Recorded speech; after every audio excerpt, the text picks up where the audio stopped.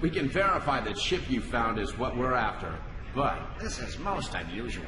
The chip you came back with is an electromagnetic pulse chip.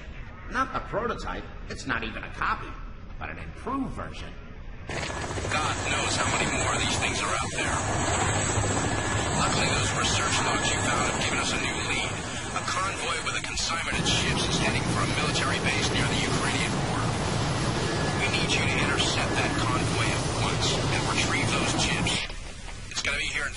15 minutes, so you don't have much time.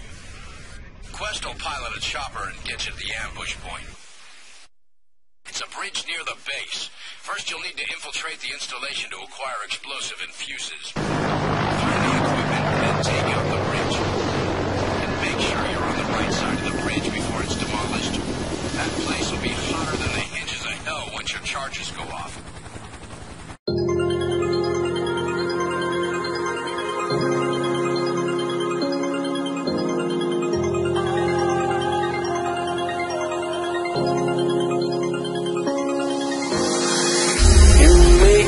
Feel like home. You turn around, I feel the breeze over me. You watch your dreams